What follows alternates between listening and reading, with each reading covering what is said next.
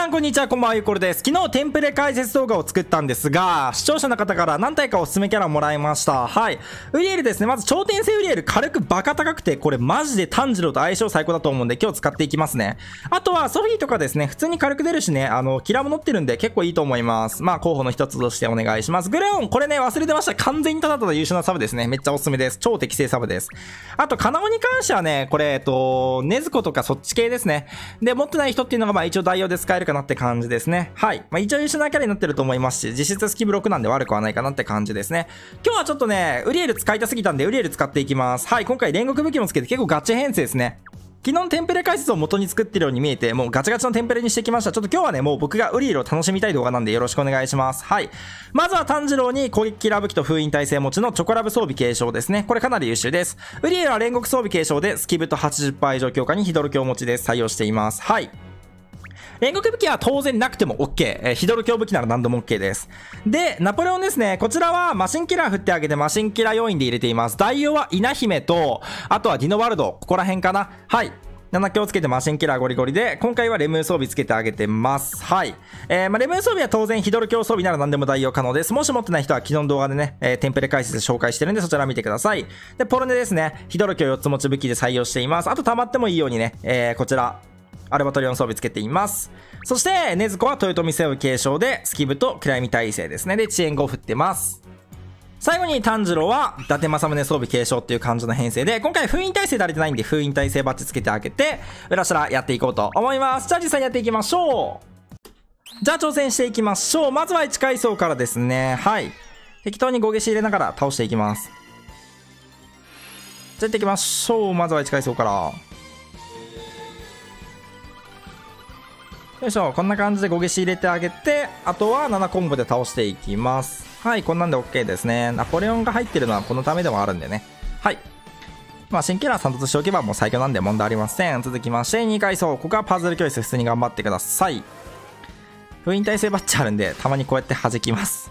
だからなんだって話なんですけど、あの、ポロネ先に打てるっていう、ちょっと地味にでかいです。けどまあ別に打たなくて OK です。はい、これ倒していく。まあ一応打てるんで打ってもいいんですけど、まあそこまで打つ必要もないんでまあ打っとくか一応空気読んで。はい。一応ここで打つメリットとしてはポロネが早く溜まるってこと。デメリットとしてはウリエルとナポレオンがスキル返ってこないことですね。まあ返ってこなくてもどうにかなるんで全然いいんですけどね。そう。で、まあこんな感じで OK かな。倒していきます。はい。でですね、3階層、これどっちが来てもいいんですけど、来る敵によって一応立ち回りが少し変わります。いや変わんないわ。ごめん。全然変わんないですね。はいここウリエル打ってあげてナポレオン打ちます。ナポレオン打たんでいいわこれだったら。えっとね木の方が来た場合はナポレオン打たなくていい。で光の方の場合は必ずナポレオン打ってください。これ理由としてはえっとね木の方に関してはこんな感じで火がもう作ってくれるんですね勝手に。この敵が。変換含めると。なので全然問題ないんですが光の方の場合はね闇花火なんですよ。つまりウリエル打ったところで回復花火ができるだけなんですね。そこで必ずナポレオンを打ってもらって、え回復5火の5回復20消しの追い打ち含む3コンボで倒してあげてください。そちらで問題ありません。でここは暗闇耐性も積んでるんで心配いらん。はい。こんな感じでマシンキラで倒していきます。OK まあ、ちょっとややこしいけどね、あの、3階層はつまりウリエルからのナポレオン打てば間違いないんで、それでお願いします。はい、続きまして5階層。ここはコンボ組んでいこう。エレジ含みながらコンボでいいかな。攻撃キラー武器持ってるのが炭治郎なんで、ちょっとあれなんですけど、めんどくさいんだけど。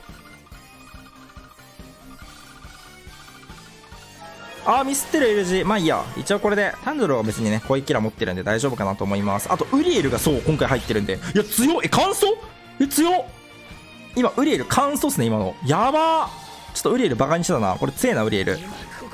今ので分かった。ウリエルは強い。今乾燥してたんでさすがに強いね。カンスターバケモンだな。マジか、ウリエル。お前すげえな。ちょっとこれ、ウリエルね、適正サブにも程があるかもしれない。ちょっとこっからウリエルの軽く注目しておくか。ルレットも消えたし。無効貫通ないことが弱点ではあるんだけどね、ちょっとこれなかなかやばい気がするぞ。倒していきます。さあ続きまして7階層。ここ L の1コマで倒しちゃうんだよな。あ次攻撃キラー刺さるんでちょ一回じゃあここはこれで倒してあげてちょ次のターン見てみようかウリエルの軽く。お来たでも10個もしちゃった。じゃあいや見てみよう。ウリエルこれどんなもんなんこれで。は11億？え？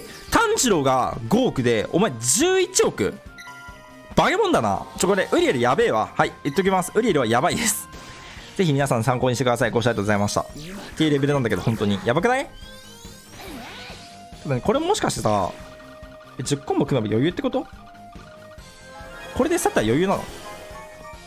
ウリエルがいればもしかして。4億3000万からのあ21億3700万。カンスト？ウリエル？やってんねウリエル。一回火の4消し入れてあげましょう。ウリエルが強すぎる感あるけど今すでに。とりあえず木のやつだけ倒してあげて。えなんでターゲットしてんの？もうこれマジでさこれ本当に嫌いだわ。まあいいや。えとりあえずねここ向こう側で倒していこう。いやほんと嫌いだわ俺マジで。勝手にターゲットされてる仕様いやマジでやめてほしい。なんで押しいつの間に押してるんだろうな。なんかこれね俺だけにある仕様なんだよね。俺の体が知らない間に右側の敵をタップするっていうよくやるんだよね。あの仕様でパズドラの仕様じゃないからね。俺の仕様ね。え倒すの？ちょっとウリエル？ウリエルお前バカなのか強すぎてバカになってるぞブリエル本当に。やばすぎ。ちょっとウリエルの性能が化け物なんだけどなんだこれ。強すぎるぞ。さあ11階層。オッケーここは向こう側で倒していきます。はい。まあ、ヒドロップ残せたら楽っちゃ楽なんで残せるなら残したいね。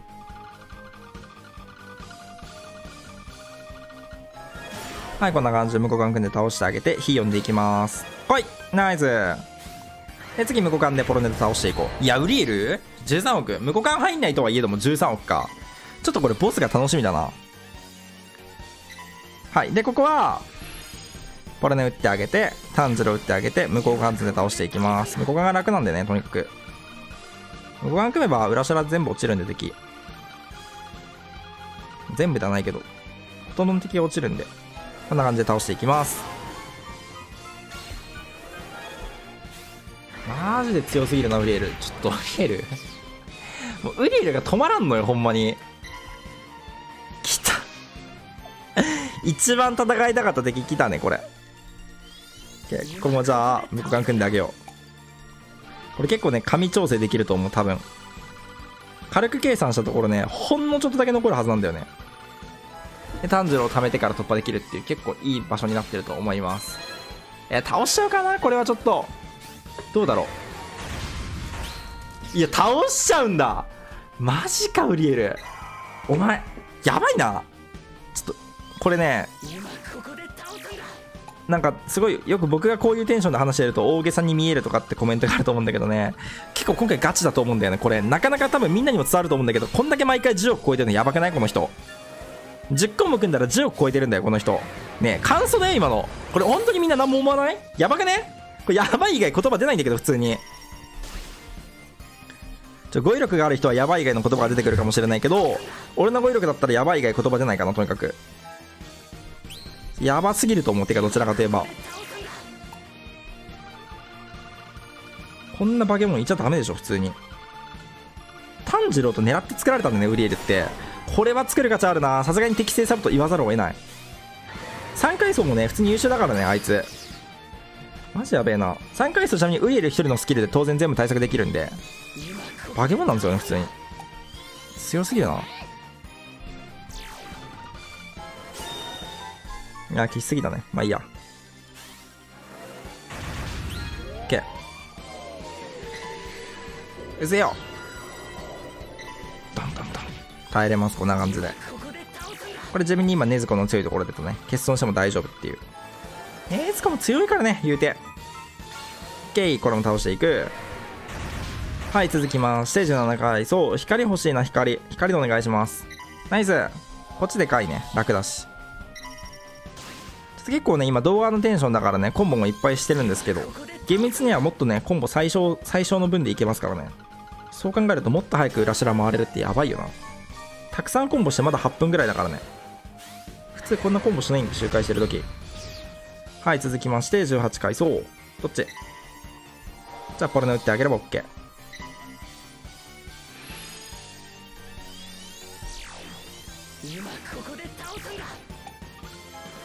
はい、こんな感じで倒していきます。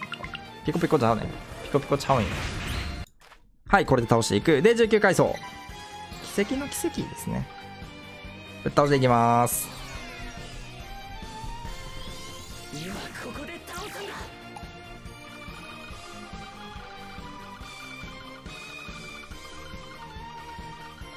OK、こんな感じで向こう側組んで倒していく。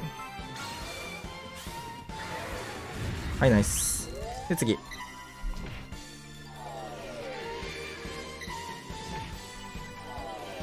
ここも炭治郎打ってあげて、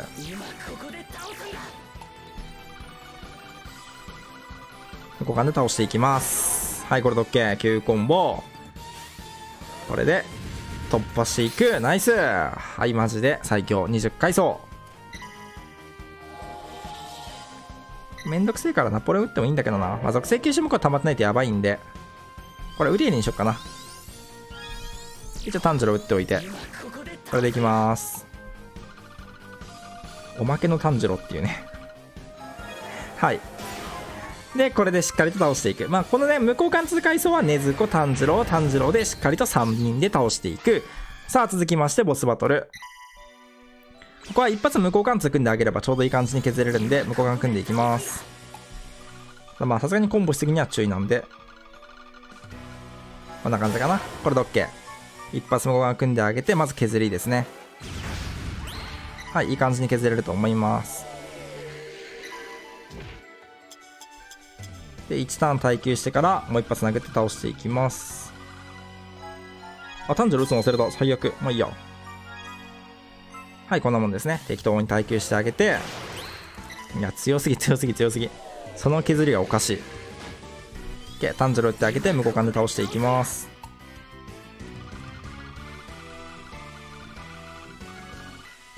ちゃんと火の向こう関通組んであげれば火力的にも問題はないし11個も組んであげればウリエルの火力も含まれるので9億ぐらいは入ってますねウリエルからも。これで倒していく。で続きましてメノは水以外なら何でもいい。いやマジでめんどくさいんだけど本当に。こいつだけねめちゃくちゃめんどくさい。あのひたすら殴んだけどなんでめんどくさいんですよ。時間かかるから。他のやつらはもう楽勝ですね。勝ち確です。こいつだけだる。いそして今一番だるやつが来た。マジでめんどくさい。こいつだけさ、めっちゃ殴んなきゃダメなんよな。効率悪いよな。はい。まあ、無言組んでいきましょう。とにかく。文句言っても仕方ないんでね。体力キラーだからキラーもあんま乗んないしね。そう、こんなもんしか削れん。横間も組めないんで、ここは L 字でいいかな。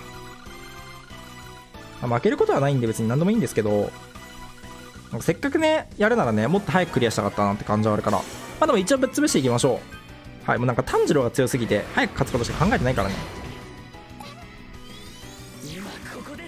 よいしょ。ここも L 組んでいきます。まあ、少しでもねずこの火力で削っていこうかなって感じ。あとナポレオンはまあ常に乾燥してくれるんで、どんな状況でも10億は出してくれるかなって感じですね。はい。ナイスナポレオン。で、炭治郎打ってあげて、レム打ってあげて、これ塗ってあげて、ネズコ打ってあげて、倒していきます。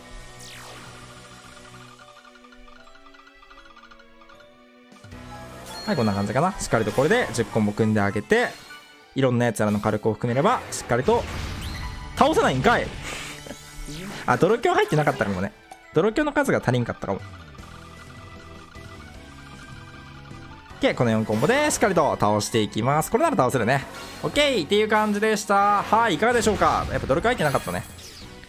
まあ、やばいっしょ。普通にもうシンプルに強い。ちょっと水目のは来ちゃってめんどくさかったんだけど、まあ、ウリエル入れてあげてることによって、12分40秒とかで勝てます。早すぎやろ。やば。終わり。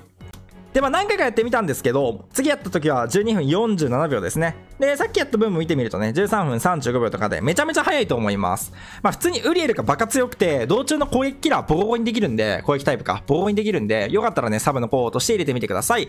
じゃあチャンネル登録、高評価ぜひお願いします。ご視聴ありがとうございました。バイバイ